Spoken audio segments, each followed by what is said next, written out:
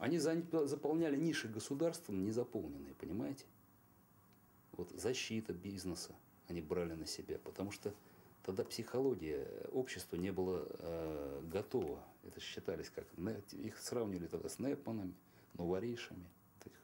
Нет, я хочу понять одну штуку. Эм, э, Вы, э, вот создавался новый бизнес, да, то есть первые ростки, кооперативы, там, больше, меньше, э, кто-то больше, кто-то меньше.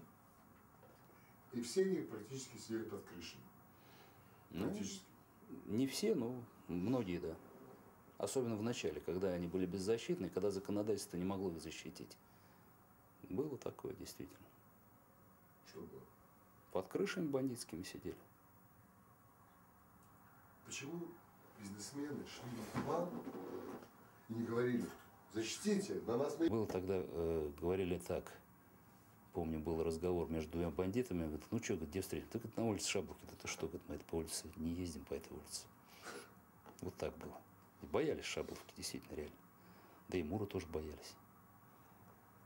Но тем не менее, вот э, я не знаю. Почему, почему не шли, еще расскажу. А многие не шли, потому что у них у самих не все в порядке было с, законода... с законом. Э, Налоги-то не все платили, это уж точно. В черную работали многие, это как это вот разговаривали. Э, Сейчас в разговоре, вот, сленговое выражение, в черную. То есть э, работали в наличке, неконтролируемые деньги. У нас в теневом бизнесе очень много денег ходило. Сейчас, ввиду изменения политики государства, многие стали охотнее платить налоги. Но тогда, на- э, тогда налогообложение было непонятное совершенно. Полная же неразбериха была с налогообложением. Это тоже влияло. Потому что, извините, когда ты за рубль должен был в то время заплатить рубль 10 за работу, смысл бизнеса терялся. Это все было понятно. Мы на многие вещи закрывали глаза тогда.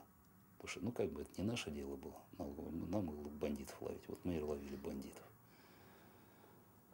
Ну, а так они по согласию многие. Их многих устраивало. Потому что они э, не, не убивали, не грабили своих подопечных. Они их защищали реально.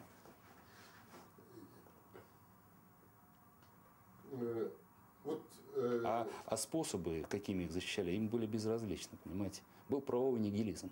Он и сейчас, и сейчас присутствует, я уверен. Но он был тогда. Понимаете, разруш... э, государство одно ушло, а второе еще только становилось. Это период такой же, как вот после гражданской войны. Только гражданская война, слава богу, у нас не допустилась в нашем обществе.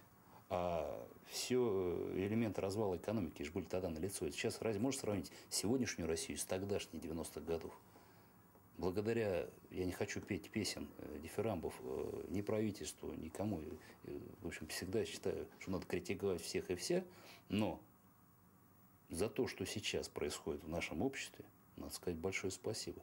Э, за то, что э, стали, в общем-то, а, э, создавать условия для инвестиций, правильно, более-менее приемлемо, еще не совсем, но это вопрос развития. За то, что у нас сейчас, к сожалению, про- профицит бюджета, это тоже, наверное, не очень здорово. Но почему-то создан, значит, у нас создались условия для этого. let me